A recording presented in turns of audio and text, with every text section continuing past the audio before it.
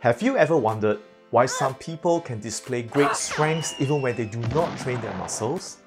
Perhaps these folks are the descendants of the mighty Greek hero Hercules? Aha! No. It is because these people are blessed with mighty super strength genes. To find out if you have this super strength gene and how you can build greater strength and physique with our tips today, stay tuned and find out in this episode.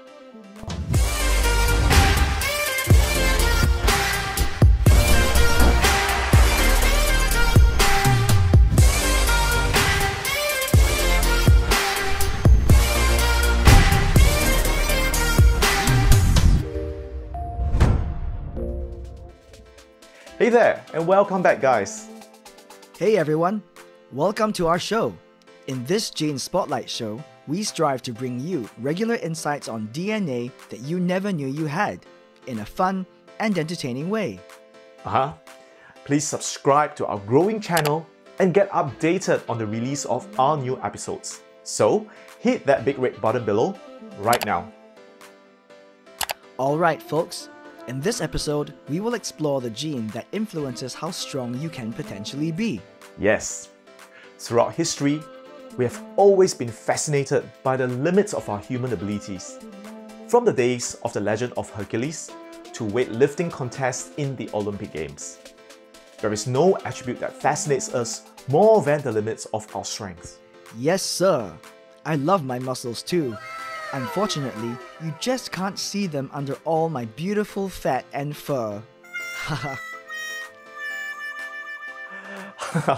Uh, that's funny, Billy. However, as strong as you already are, you will be surprised at how strong some humans can be. Take for example, Mikhail Shivlyakov from Russia.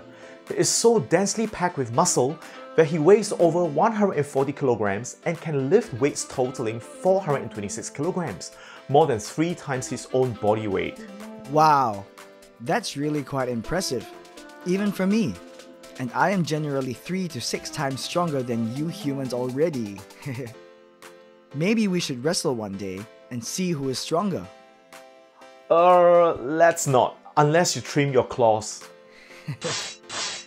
So, why is it that some people possess such superhuman strength, while others can't achieve that, no matter how much muscle training they do?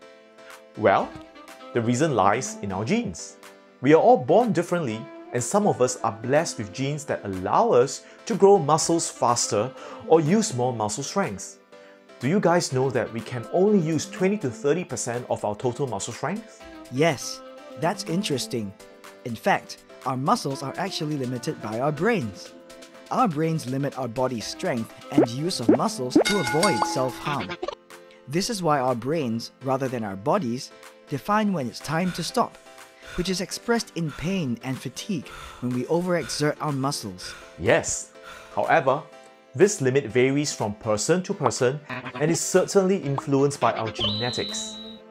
So, do you know which gene allows you to increase your limits and gives you higher strength capacity? Allow me to answer that, since I have bigger muscles than you, Josh. One of the genes that codes for strength is the AMPD1 gene, or as I would like to call it, the super strength gene. The AMPD1 gene stands for adenosine monophosphate deaminase 1, and it is found on chromosome 1 of our genetic makeup. The AMPD1 gene provides instructions for producing an enzyme called adenosine monophosphate deaminase. This enzyme is found in the muscles used for movement, called skeletal muscles, and plays a role in producing energy, specifically during physical activity. As our muscles consume energy when they move, a good expression of this gene simply means we will have more energy for our muscles to perform better and for longer periods of time. Nice! I have no qualms many athletes would want to have this gene for their fitness and bodybuilding activities. Haha, you bet. This gene is certainly the type that makes you look fit and good too. In fact, if you have the right variant of this gene, you may even have the explosive power of strength that can allow you to perform superhuman feats, almost like a real superhero. Righto! So, Billy, what happens if people have a disrupted expression of the AMPD1 gene? Interestingly enough, people with mutated AMPD1 genes actually exhibit a higher incidence of heart diseases and diabetes. Since the AMPD1 gene is expressed at a high level only in skeletal muscles, the association between the AMPD1 disruption and such illnesses still remain unclear. However, a possible reason could be that the disruption of the AMPD1 gene is linked to another gene that creates these problems. Regardless of our AMPD1 gene expression, however, do you have any tips for people who want to build their strength, Josh? Absolutely. In fact, I have six tips that you can follow to build your strength and be healthy at the same time. Number one, work out at home. When you're spending more time at home, take this opportunity to exercise and lift weights in the comfort of your house. In fact, you can even use some of your common household items as weights. Number two, lift heavy. Lifting heavy will improve your strength by growing your fast twitch muscle fibers. You can use dumbbells or kettlebells to train these muscles. Optimally, you need to carry weights that is 80% of your maximum carrying capacity. If the weight feels too light, that means it's not enough to train your strength. Number 3. Fewer repetitions. As a side effect of lifting heavier weights, you can most likely only lift fewer repetitions, or reps as they call it. These fewer reps will allow you to focus on maximizing the number of reps you can do with heavier weights. A good number of reps with heavier weights would be 4 to 6. A routine of 4 to 6 times is also called a set. Number 4. Rest between exercises. Another important part of training your strength is to have enough rest between your sets. This allows your muscles to recharge and prevent injury. The general rule for building strength is to lift 4 to 6 reps. Rest for 2 minutes and then continue with another set of 4 to 6 reps. Number 5. Take muscle supplements.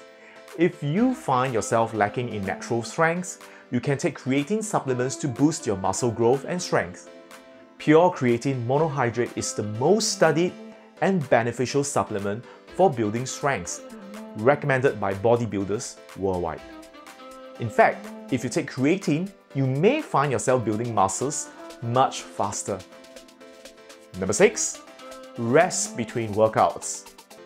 After each workout, it is important for your body to rest and your muscles to repair and grow you will need about 48 hours of rest between your workout sessions. So pace yourself and work out around 3 times per week.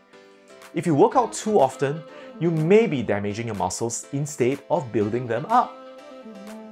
Wow, those are really insightful tips, guys. If you ever want to be stronger, do try these tips at home. There is no shortcut to hard work, and even if you have a good AMPD1 gene, Without proper exercise, you will not realize your true Herculean potential.